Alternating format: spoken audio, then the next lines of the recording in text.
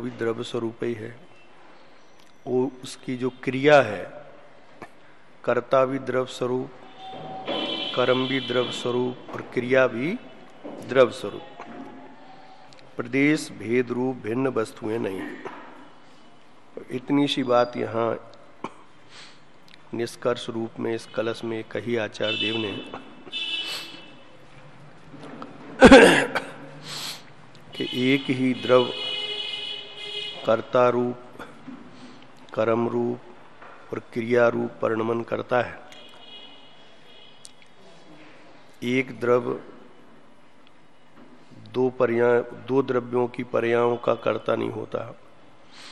दो द्रव एक द्रव की पर्याय के कर्ता नहीं होते। सब द्रव अपनी अपनी पर्याय के कर्ता हैं। ये बात निष्कर्ष रूप में आचार्य देव ने कही। देखो, ये सारी बातें अभी कलश में आगे खुलासा करने वाले हैं आचार्य बावन नंबर का कलश है। एक परिणमति सदा। परिणामो परिणामो जायते सदैकस्य। एकस्य परिणति ही सैद अनेकमपि अनेकमेव यतः। एक परिणमति सदा। वस्तु एक ही सदा परिणमित होती है। एकस्य सदा परिणाम जायते। एक के ही सदा परिणाम होते हैं।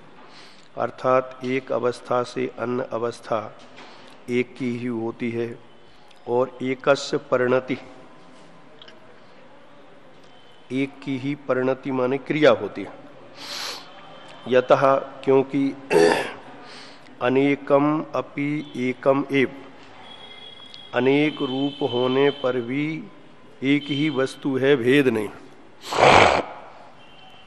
अनेक रूप माने के एक ही वस्तु कर्ता रूप होती है, एक ही वस्तु कर्म रूप होती है, एक ही वस्तु क्रिया रूप होती है, परिणमन रूप होती है। एक के ही तीन भेद हैं। कोई तीन चीज़ें अलग अलग नहीं है। इतना यहाँ आचार्य देव ने ये सिद्ध किया। एक परिणमति। वस्तु एक ही सदा परिणमित होती है। कहने का मतलब क्या है? कि दो द्रव्य मिलके कोई एक परिणाम करते हो ऐसा बिल्कुल नहीं एक द्रव्य एक परिणाम करता है। दो द्रव्य हैं तो उसके दो परिणाम होंगे। ये बात अलग है। असल में सारा भ्रम कब होता है कि जब दो द्रव्य एक समय में और एक से परिणाम करते हैं। भ्रम कब होता है कि जब दो द्रव्य एक समय में एक से परिणाम करते हैं? क्या एक रूप परिणमते हैं? तो अपन को भ्रम हो जाता है कि मानो दो द्रव्यों ने मिलके कोई परिणमन किया। ये भ्रम हो जाता है। और दो द्रव्य क्या? जगत में तो अनंत द्रव पूरी नदी की बाढ़। समझ में है ना बात? पूरा प्रवाह। उसमें एक बूंद पानी की दूसरी बूंद को खिसका रही है आगे। ऐसा नहीं। एक एक पानी का अणु अणु परमाणु परमाणु अपनी योग्यता से गमन कर रहा है। आगे के परमाणु को पीछे का परमाणु धक्का लगा रहा है। हम्म, ऐसा नहीं।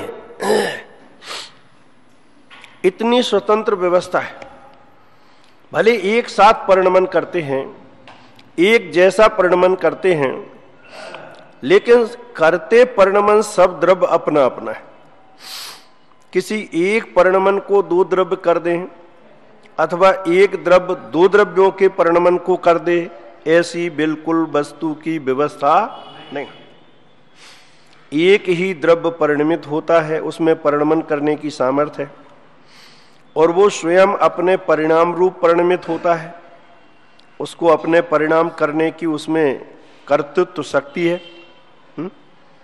कर्मत्व शक्ति भी है और कर्तृत्व शक्ति भी है। और वो परिणमन निरंतर होता रहे। एक परिणमन का उत्पाद, फिर व्यय, उत्पाद व्यय उत्पाद व्यय उत्पाद, व्यय। ये जो चलती रहती है धारा, उसका नाम क्रिया है।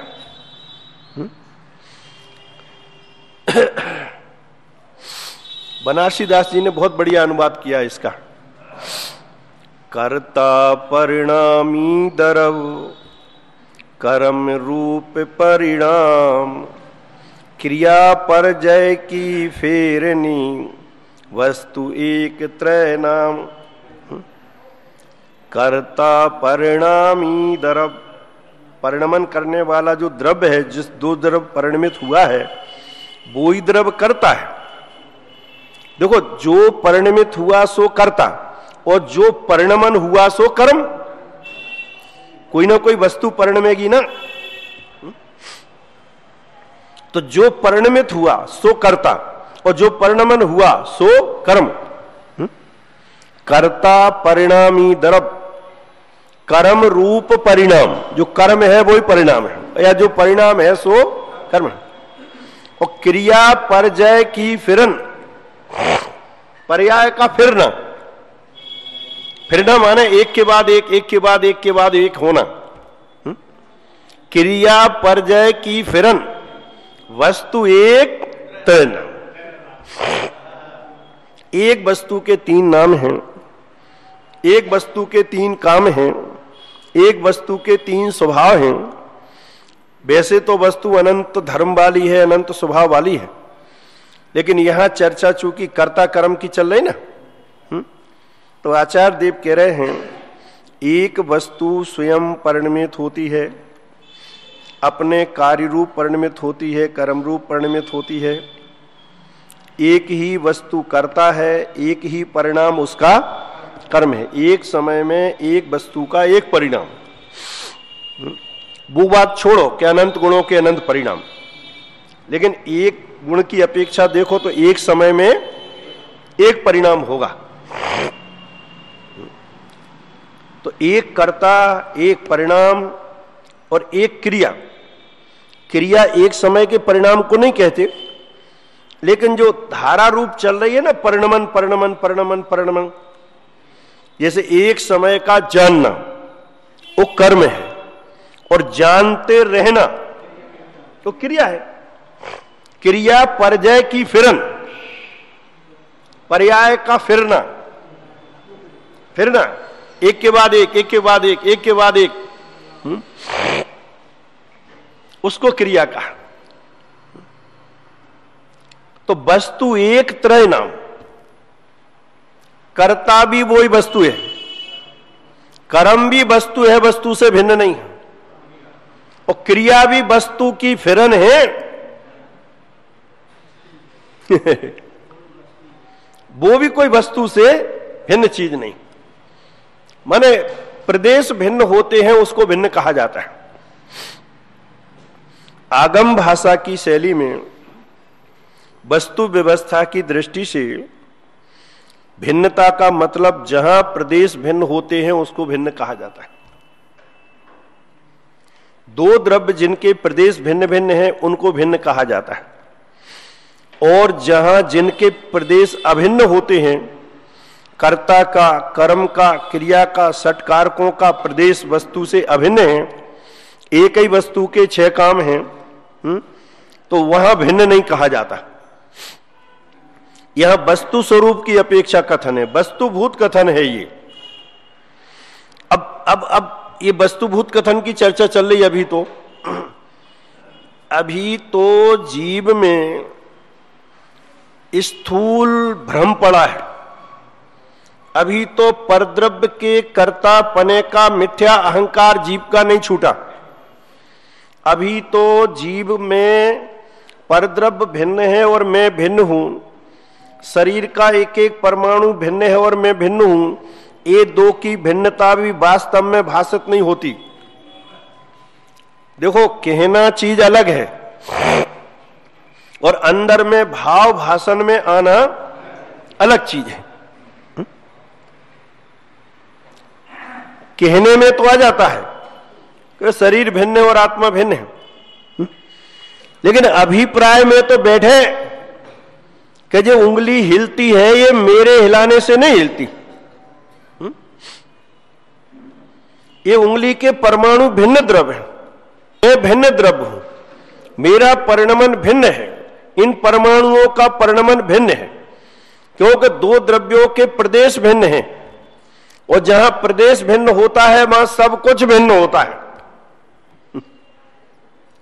समझ में ना बात?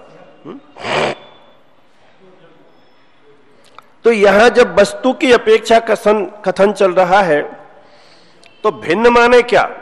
कि जिनके प्रदेश भिन्न हैं, वे वस्तुएँ भिन्न हैं। भिन्न प्रदेश वाली वस्तुएँ भिन्न, उनके कर्ता भिन्न, उनके कर्म भिन्न, और उनकी क्रिया भी भिन्न। जब दो भिन्न भिन्न प्रदेश वाली वस्तुएँ हैं तो एक वस्तु दो भिन्न प्रदेश वाले द्रव्यों का कर्ता नहीं हो सकती। कर्म नहीं कर सकती उनकी, क्रिया नहीं कर सकती।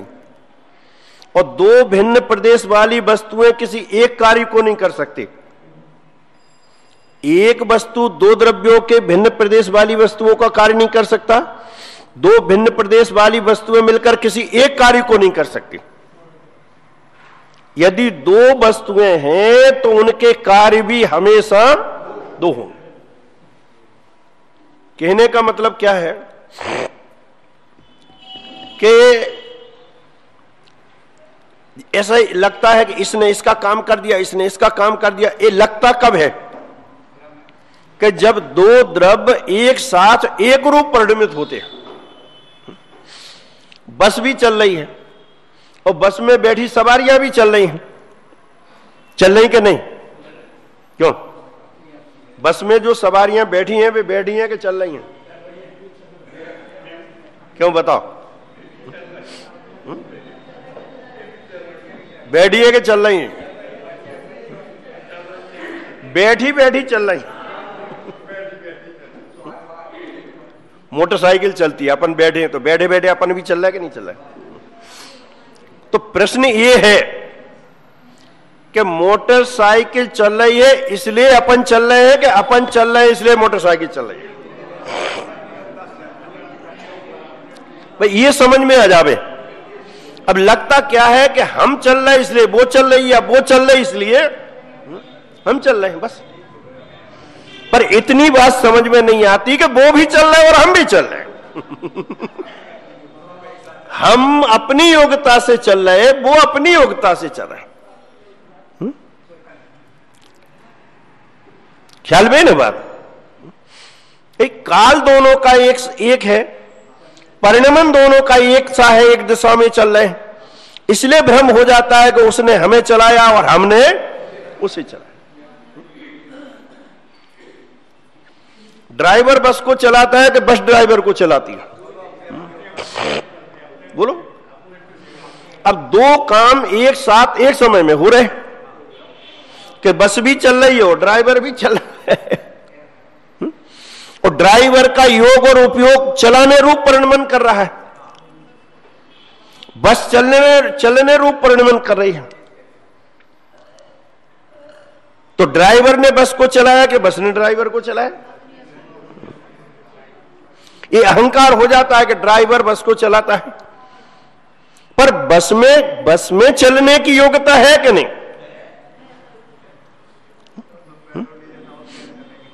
बोलो। पेट्रोल से मतलब नहीं है कि पेट्रोल डीजल ना हो तो चलेगी। पेट्रोल से भी नहीं चलती। हुँ?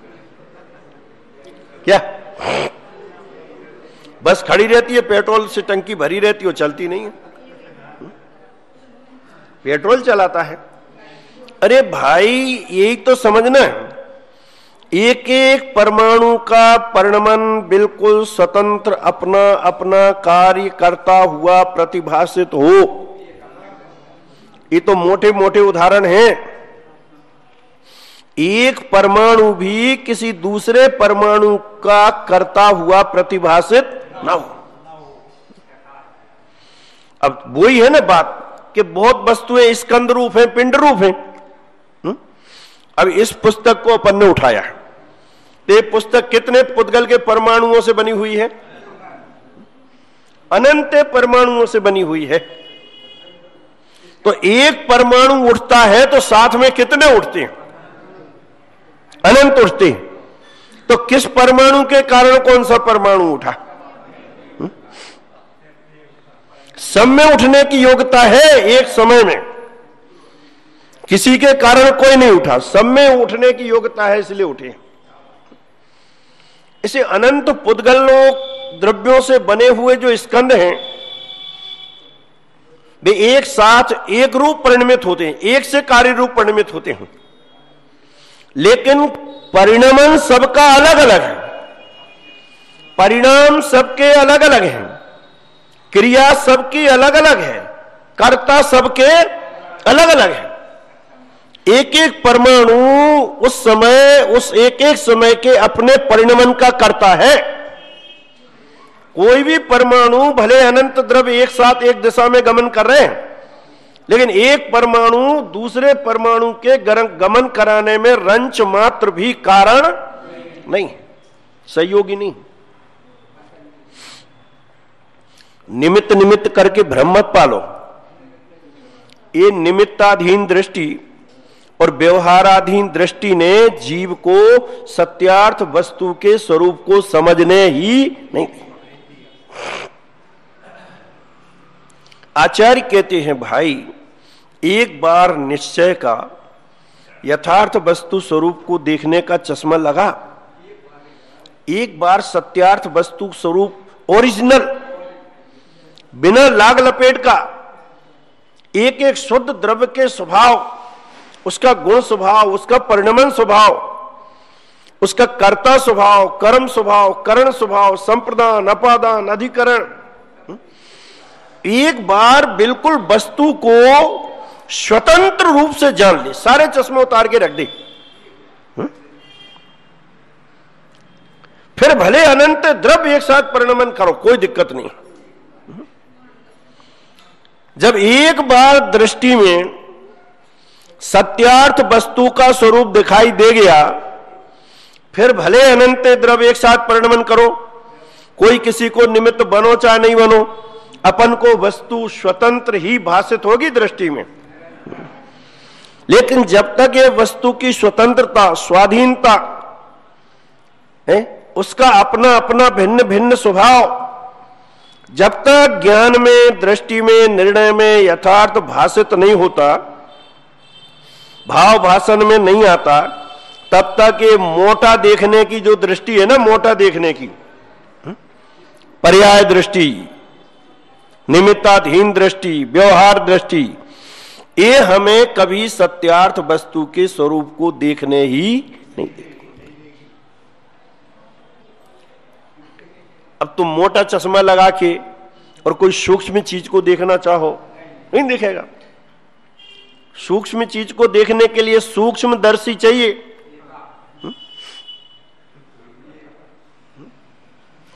ये ये साफ़ पेज है बिल्कुल। पानी साफ़ बिल्कुल छान लिया छनने से। अब इसमें तो कुछ नहीं है। कि अब तुम्हारी इन आँखों का काम बंद हो गया। इनसे जितना देख सकते थे वो दिख गया। अब इसमें और भी कुछ है क्या? कि इसमें बहुत है? लेकिन तुम्हारी इन मोटी आँखों से काम नहीं चलेगा और मोटे चश्मे से भी नहीं दिखेगा अब अब सूक्ष्म दर्शी चाहिए। उस सूक्ष्म दर्शी से देखोगे तो जो इन आँखों से नहीं दिखता वो उससे दिखाई देगा तुम्हें। ऐसे ही आचार्य देव यहाँ कहते हैं कि भाई पर्याय दृष्टि से स्थूल दृष्टि से निमित्ताधीन दृष्टि से व्यवहारिक दृष्टि से हम्म, लिख ही दिया आचार्य देव ने पहले, ऐसा अनादि रूढ़ मूढ़ लोगों का व्यवहार है ये। अनादि रूढ़ व्यवहार। अनादि से रूढ़, माने चली आ रही है परंपरा। मैं बोलता हूँ, मैं चलता हूँ, मैं खाता हूँ, मैं पीता हूँ। चली आ रही है परंपरा। कब से? अनादि से। हुँ? हम्म? किसने पढ़ाया था तुम्हें कि ये बोलो, मैं खाता हूँ? मैं चलता हूँ, मैं बोलता हूँ। एक किसी ने नहीं सिखाया। मिथ्यात्व के संस्कार तुम्हें किसी ने नहीं दिए। फिर भी अनादि काल से चले आ रहे हैं। और तत्व के संस्कार सिखाए सिखाए भी नहीं डल रहे। क्या? तत्व को जिनवाणी ज्ञानी गुरु सिखा रहे हैं समझा रहे, पढ़ा रहे, अरहंत भगवंतों ने भी।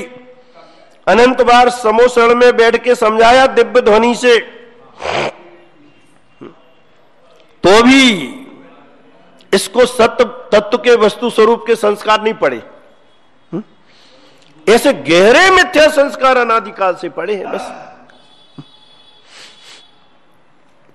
लोक में भी ऐसा होता है। कि बचपन से जिसको जैसे संस्कार पड़ जाए, फिर वो संस्कारों का मिटना उसका बहुत मुश्किल होता है। कोई विशेष भाग्यशाली जीव हो, अच्छी होनहार वाला जीव हो तो अपने उन संस्कारों को छोड़कर सही रास्ते पर आ जाता है। वो नहीं तो जो संस्कार बचपन से जैसे पड़ गए वो जीवन पर्यंत छूटना उसका मुश्किल हो जाता है। कठिन होता है। भगवान के समोशरण में जा जाकर भी नहीं छोड़े हमने संस्कार। बोलो। खोटे संस्कार, मिथ्यात्व के संस्कार। हुँ? अन्य की तो क्या बात करो? ख्याल में ही ना बात? बोलो। हुँ? सीख बिना नर सीखत हैं।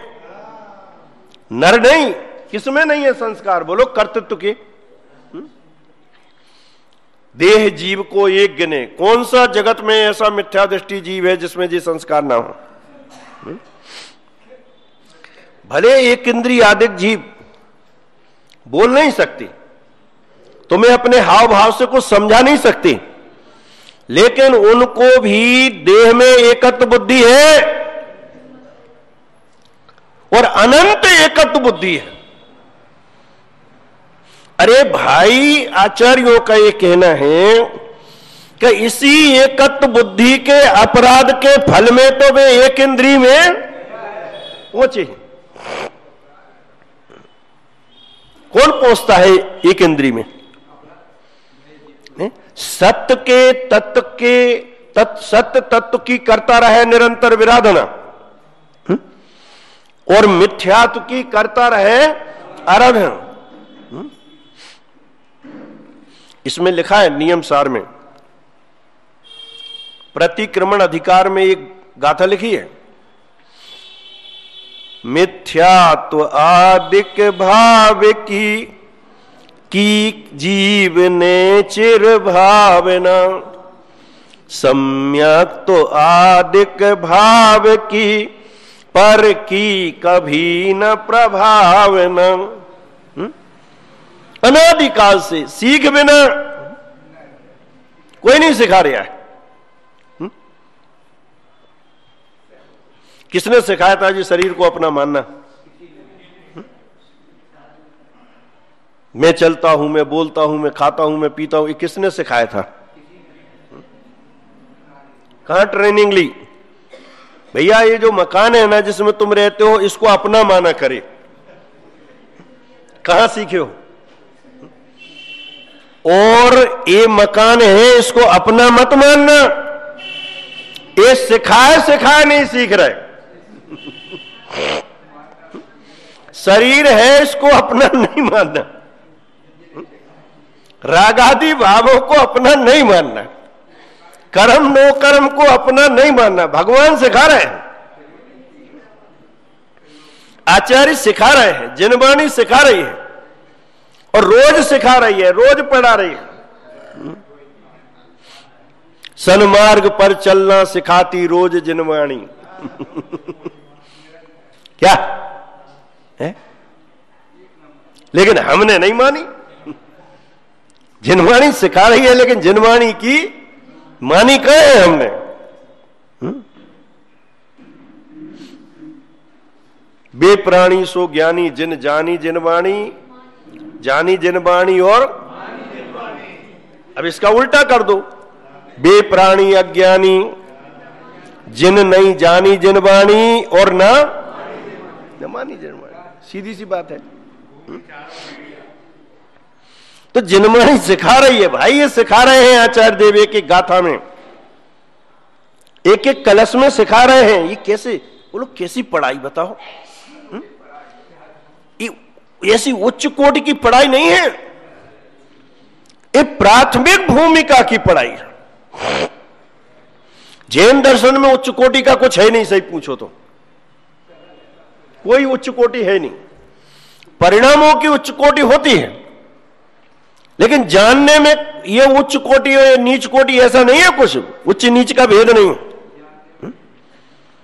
ये जो पढ़ाई है, ये पहली क्लास की ही पढ़ाई है। एक द्रव्य दूसरे द्रव्य का करता नहीं है, ये पहली क्लास की पढ़ाई पहली क्लास समझे? पहली क्लास का क्या मतलब यहाँ बोलो? पहले गुणस्थान। पहले गुणस्थान वालों को पढ़ा रहे हैं ये। इस सम्यक दृष्टि चौथे गुणस्थान वालों को नहीं पढ़ा रहे। क्योंकि वे पढ़ गए इस बात को।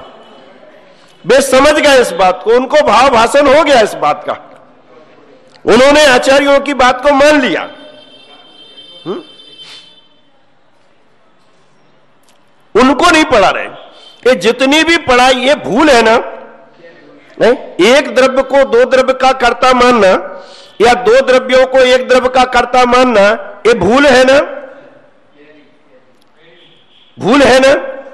तो ये भूल किसकी सुधारना है जिसकी भूले हैं, उसकी कि जिनकी सुधर गई, उनकी समझ में ही ना बात हम्म? इलाज बीमार का होता है कि जो स्वस्थ है, उनका होता है हम्म?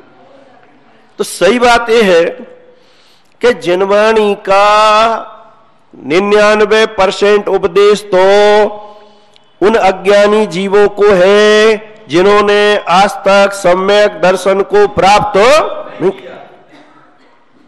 सच बात यह है। सारी जिनवाणी अज्ञानी जीवों को अपना अज्ञान मिटाने के लिए लिखा ना, मिथ्यातम नाश बे को ज्ञान के प्रकाश बे को और आपा पर भाष बे को भानुसी। ये उद्देश्य है जिनवाणी का। तो मिथ्यात्व का नाश करना और ज्ञान का प्रकाश करना। तो मिथ्यात्व का नाश सम्यक दृष्टियों को करना है कि मिथ्या दृष्टि को करना है? सम्यक दृष्टि ने तो अपना काम कर लिया। उसके तो मिथ्यात्व का नाश हो गया। उसके तो सम्यक ज्ञान की प्राप्ति हो गई। उसको वस्तु का स्वरूप ख्याल में आ गया। अरे उसको वह तो मोक्ष मार्गी हो गया। केली करे शिव मार्ग में जगमाही जिनेश्वर के। तो वो तो मोक्ष मार्गी हो गया।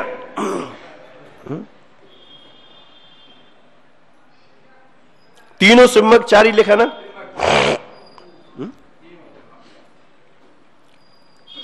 उत्तम अंतरात्मा हो, मध्यम अंतरात्मा हो जघन अंतरात्मा हो, तीनों शिव मग चारी ख्याल में ही ना बात? तीनों चारी।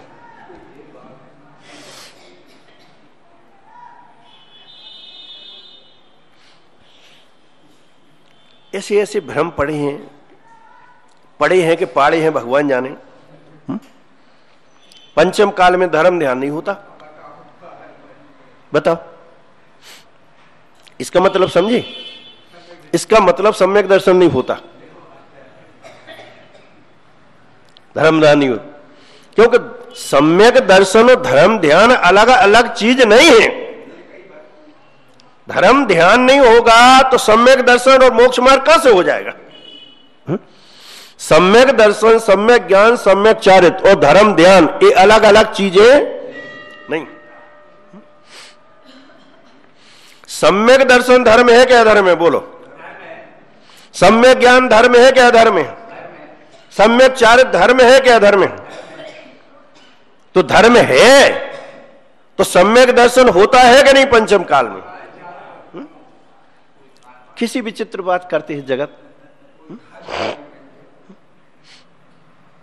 धर्म ध्यान नहीं होता, शुभ ध्यान होता है।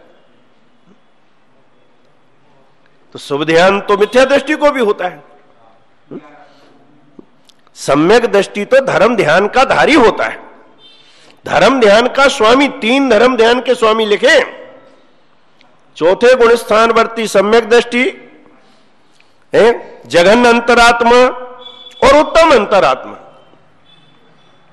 तीनों धर्म ध्यान के स्वामी लिखे। नियम सार में सब जगह जगह लिखा है। कहाँ कहाँ बताओ, पढ़ पढ़ के। सारी जनवाणी लेकिन वो ही है ना उल्टा चश्मा। चश्मे उल्टा लगा लिया तो वो सही वस्तु स्वरूप दिखाई नहीं देता। जो समझना चाहिए, असल में क्या है, जीव ऐसी उमठी बाँध कर बैठा है। कि उमठी तो ऐसी ही रहेगी, इसे तो छोड़ छोड़ना नहीं। अब तुम्हें जो सुनाना है उसको सुनाओ। बस। जो हमारी मान्यता है, वो अपनी जगह है। अब तुम चाहे जितनी जिनमानी सुना दो, तुम्हारी हमें सुनना ही नहीं। हमें अपनी सुनाना है। बस, सारी, सारे झगड़े की जड़ ही है कि जो हमारा मिथ्या अभिप्राय, मिथ्या मान्यता मिथ्या चिंतन, मिथ्या विचार अनादिकाल से चले आ रहे हैं वो हमें अपनी बात जगत को सुनाना है, जिनवाणी की नहीं सुनाना।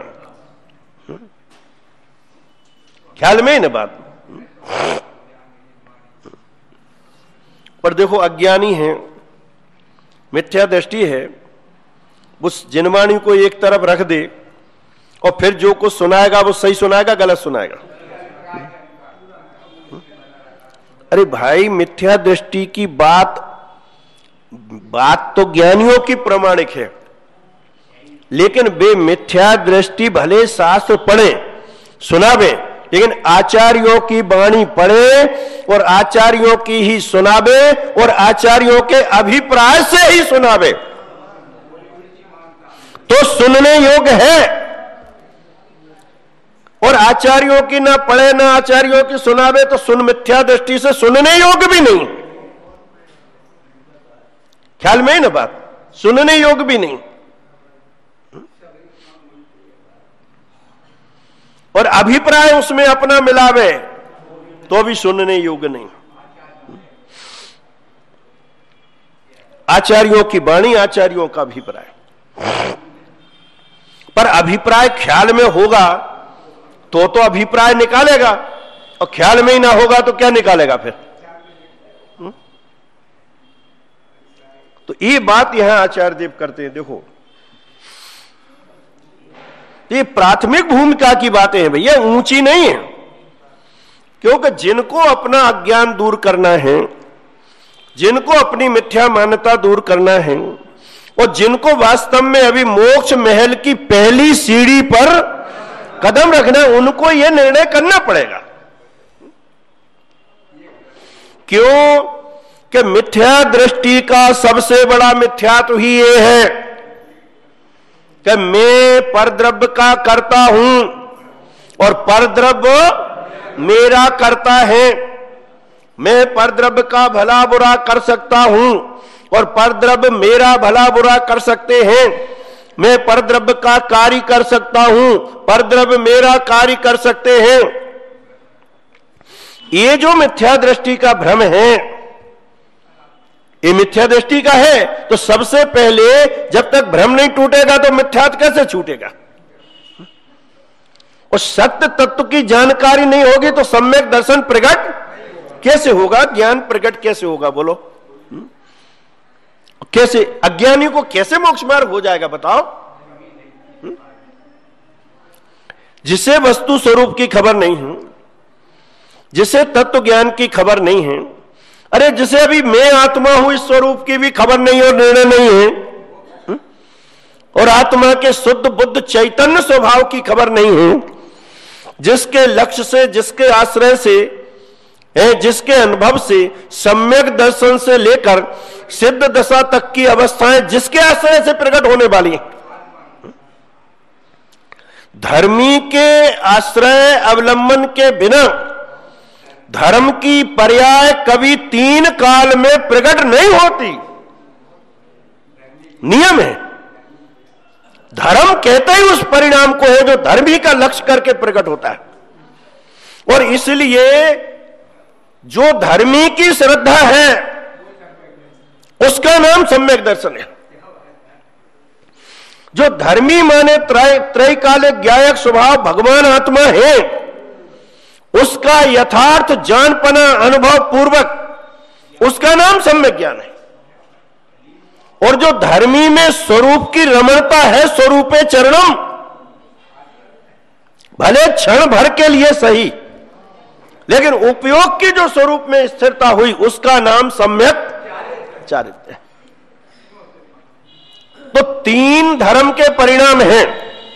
धर्मी है एक धर्मी का लक्ष्य है एक, लेकिन एक के लक्ष्य से प्रकट होते हैं तीन। तीन एक के लक्ष्य से प्रकट होते हैं। उसी की श्रद्धा सम्यक दर्शन, उसी की श्रद्धा सम्यक ज्ञान, और उसी की श्रद्धा सम्यक सारी जनवाणी इस कथन से भरी हुई है पूरी की पूरी।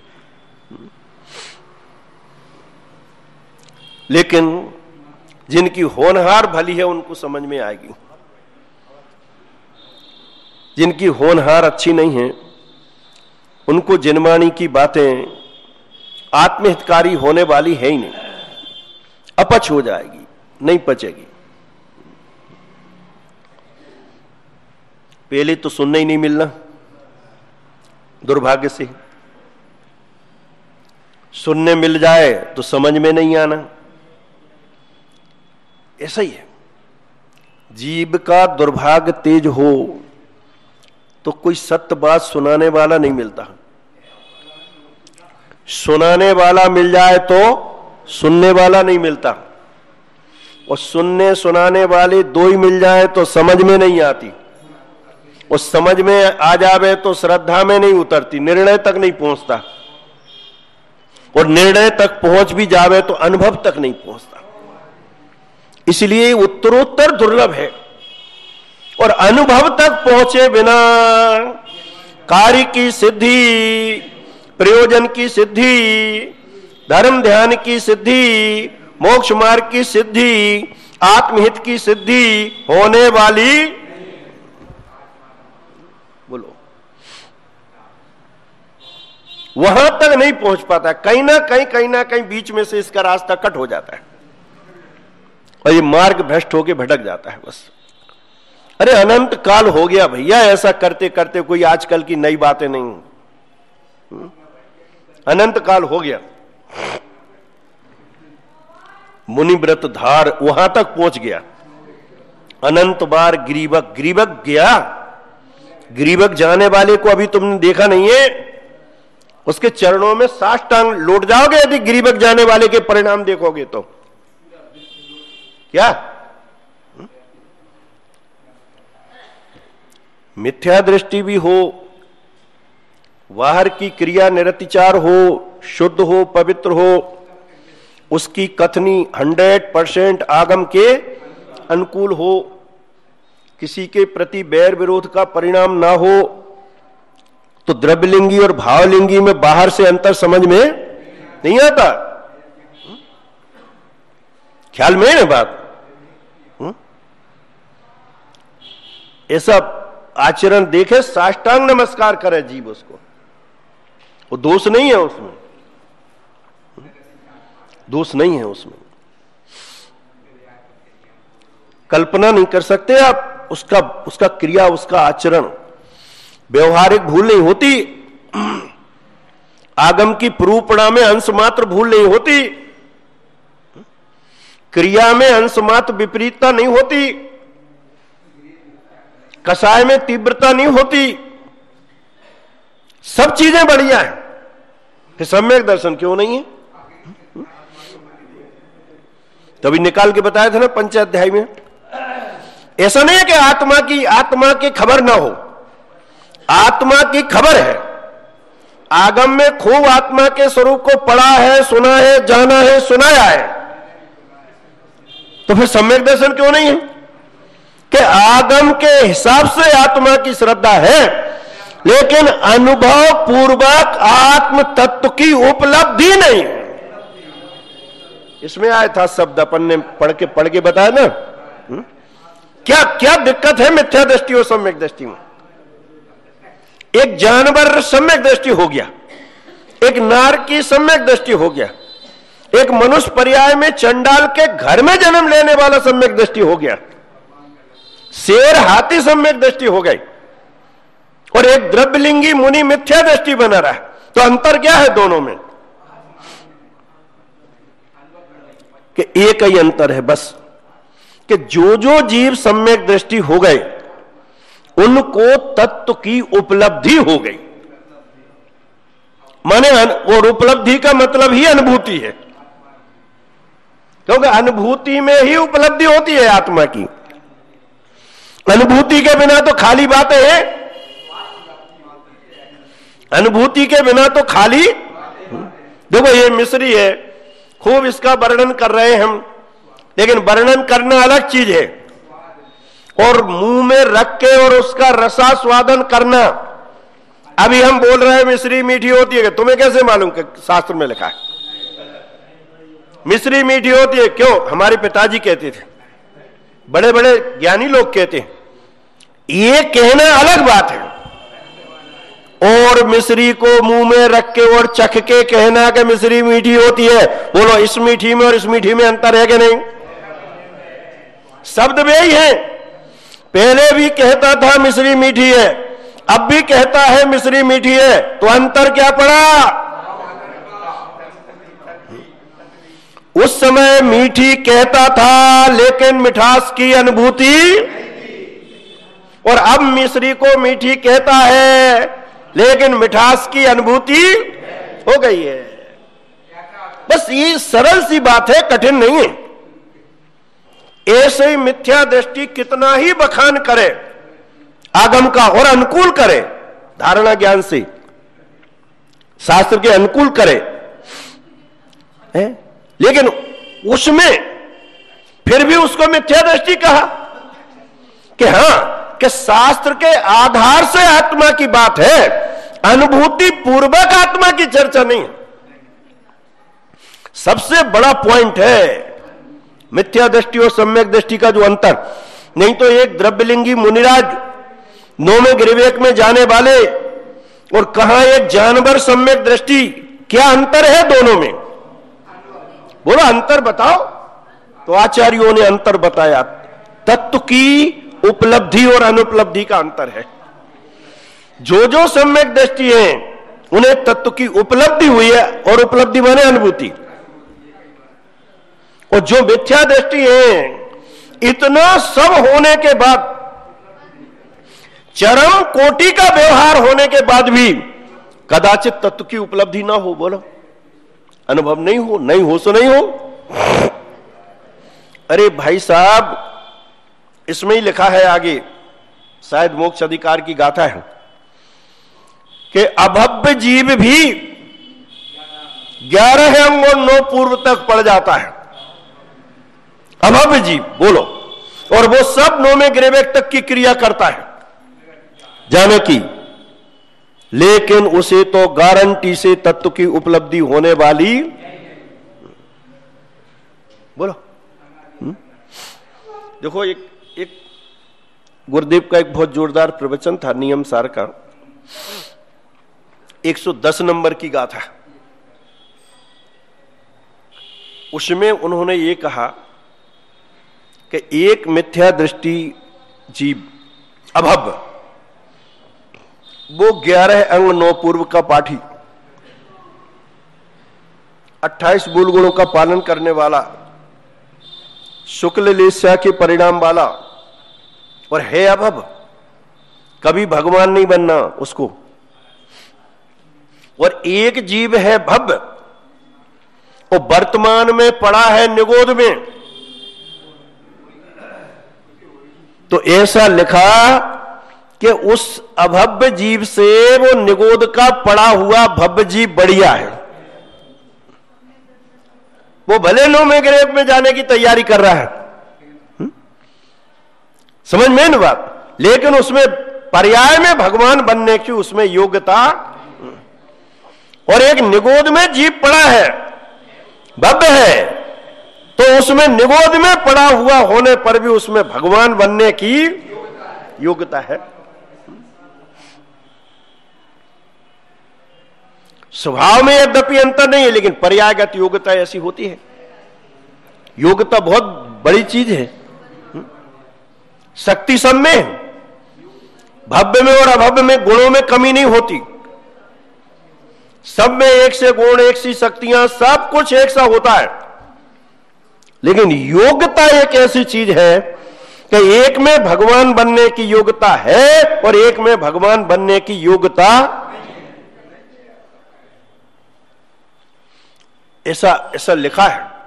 उदाहरण तो सरल दिया है अपन रोज़ाना के अनुभूत?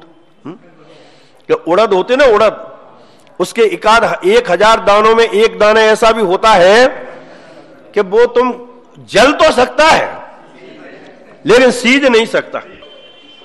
ये उदाहरण दिया है। जल सकता है, सीज नहीं सकता। बोलो, अब बताओ। अब अब तुम तुम सिजा दो उसको। अरे उसमें योग्यता ही नहीं। जिसमें सीझने की योग्यता है, वे सीझ गए। और जिसमें सीझने की योग्यता नहीं है, वे नहीं सीझे तो कोई प्रश्न करे कि ऐसा अब जीवों ने अपराध क्या किया? अरे, अपराध नहीं किया। योग्यता ही नहीं। है सीझने की योग्यता नहीं है। नौवे ग्रह तक चक्कर लगा के आ जाएगा। पंच परावर्तन करेगा संसार में। लेकिन कभी अनंता अनंत काल बाद भी सम्यक दर्शन की प्राप्ति होने वाली योग्यता नहीं है, बोलो। नहीं बनेगा भगवान। मुनि बन के और बढ़िया पालन करके व्रतादि को और नौमे ग्रीवक तक चला जाएगा। इसलिए लिखा, अंतिम ग्रीवक लो की हद। कितनी बार? सरल नहीं है जाना। हर मनुष्य पर्याय में जीव मुनि नहीं बनता, द्रव्यलिंगी ही सही। हर मनुष्य पर्याय बनता है। पहली बात तो कितनी मनुष्य पर्याय इधर उधर लेके और चला जाता है। जैन कुल तक, यहाँ तक आना मुश्किल। और यहाँ आने के बाद भी उस मुनि दशा तक पहुँचना हर मनुष्य पर्याय में बन जाएगा, द्रव्यलिंगी ही सही। नहीं बनेगा। कितनी मनुष्य पर्याय धारण कर करके चला जाता होगा, तब एकाध बार ऐसा अवसर आता होगा जीवन में, जब मुनि दशा धारण करे। और मुनि दशा भी कितनी बार धारण करता होगा कि जब नौवे गिरेबेक में जाता होगा, बोलो। उसके पहले बहुत स्थान है जाने की। व्यंतराधिक से लेकर और सोलहवें स्वर्ग तक और पहला ग्रेव एक, दूसरा, तीसरा, चौथा, पांचवा, छठवा, सातवा, आठवा। नौमा तो अंतिम है भाई साहब, कहना सरल है। लेकिन उसके योग परिणामों का होना बहुत बहुत मुश्किल है। फिर भी जीव वहाँ तक पहुँचा, अनंत बार पहुँचा। ये भी आगम के शब्द हैं, कितनी दुर्लभता से, कितने काल के अंतराल बाद कितने भावों को गमाने के बाद एक आध बार जब कभी ऐसे परिणाम होते होंगे, तब नोमे गिरिवक में जाता है तो भी आचार्य कहते हैं, अनंत बार हमने मुनिपना धारण नौमे गिरिवक तक गए अनंत बार और अनंत बार मुनिपना धारण किया हुँ? हम्म? बोलो पे निज आत्म ज्ञान बिना तो महत्व महत्वपूर्ण क्या हुआ? बोलो। आत्मज्ञान महत्वपूर्ण है कि बाहर की क्रिया महत्वपूर्ण है, बोलो। खबर ही नहीं है जीव को। खबर कोई कराए तो करने को तैयार नहीं उसका कारण है तो उसकी मेहमा भाषित होती है। इस आत्म स्वभाव की भगवान आत्मा की मेहमा नहीं आती। इसका स्वरूप भाषित नहीं होता मेहमा नहीं आती। वो बाहर में कोई कुछ करता है ना, क्रिया तो उसकी महिमा भाषित होती है। ये तो नेचर है, जीव का नेचर है। एक व्यक्ति ने एक आसन किया और दिन भर दुकान पर बैठा रहा। और एक व्यक्ति ने दो बार खाना खाया और दिन भर छह घंटे स्वाध्याय करता रहा। तो इस, ये तो जनरल बात है कि लोक में बड़ा किसको माना जाएगा?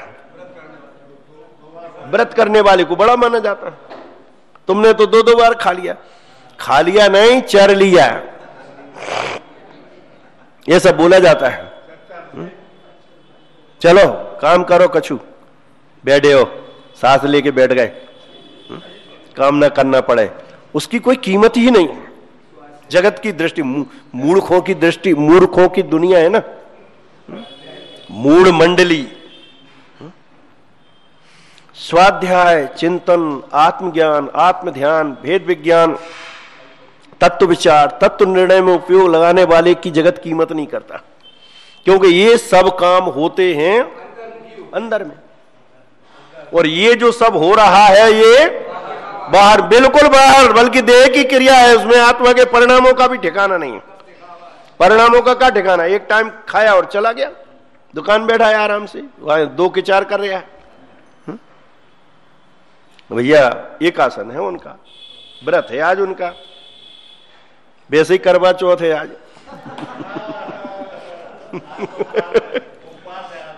हम्म। एक मेरे विचार आया कि जैनी करवा चौथ क्यों नहीं मनाते? मनाते हैं? तो मनाने का मतलब समझते हो? मनाने का मतलब यह है कि रात में चाँद देखो और उसके बाद भोजन करो। समझ में आई ना बात? चाँद देखो, रात, उसके बाद भोजन होता है। और जैनी रात में भोजन करते नहीं है तो मनाओगे कैसे? तुम्हारा सार्थक होगा ही नहीं। क्योंकि बे तो रात में करो, फिर भोजन करो, सब मिलके पूरी पार्टी। व्रत ही ऐसा है, रात में भोजन करो। तुम्हारे रात में भोजन है? यह तो उल्टा है। रात में भोजन तो दूर, उपवास करो और पानी की बूंद भी मुँह में चली जाए तो तुम्हारा सारा व्रत भंग हो जाए, खंडित हो जाए। और एक बात, दूसरी बात, किसी के कितने कोटि प्रयत्न करने पर किसी का आयु कर्म बढ़ाया जा सकता नहीं है। और कोटि प्रयत्न करने पर किसी का आयु कर्म घटाया जा सकता नहीं है। बद दुआएँ किसी का आयु कर्म घटा नहीं सकती और दुआएँ तुम्हारी किसी के आयु कर्म को बढ़ा नहीं सकती इसलिए वो व्रत फेल हो जाता है। ये फालतू के काम जैन दर्शन में नहीं है। किसी के व्रत करने से किसी की आयु बढ़ जाएगी। अच्छा और जो व्रत करते हैं उन, उनके उनके कभी संयोग का वियोग नहीं होता। कम उम्र में नहीं होता। ऐसे थोड़ी है कि जो व्रत नहीं करते उन, उनके वियोग होता हो। इसलिए सब सोच विचार के करने वाला है जैन दर्शन सीधी बात यह है। बिना विचारे करने वाला काम यहाँ भाई ये भगवान की वाणी है। इसका मुख्य उद्देश्य मुख्य प्रयोजन जीव जैसे भी हो, संसार के दुखों से मुक्त हो, भगवान बने। इस प्रयोजन से सारी जनवाणी खिरी है और लिखी है। और एक ही उद्देश्य से पढ़ना चाहिए, सुनना चाहिए। दूसरा, कोई लौकिक ख्याति, लाभ, पूजा, मान, सम्मान आदि, किसी भी अभिप्राय से जनवाणी सुनना, सुनाना, पढ़ना, पढ़ाना, किसी दूसरे लक्ष्य से करने योग्य नहीं। ऐसी बात है, विशेष पर Thank you.